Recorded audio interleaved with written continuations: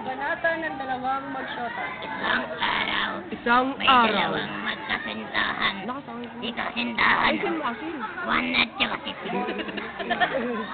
Sila ay magkasintahan. Magkasintahan. Hoy, bebe, anong ginagawa mo dito? Wala, nandito lang ako para sa'yo. Pa, sabi. Oh,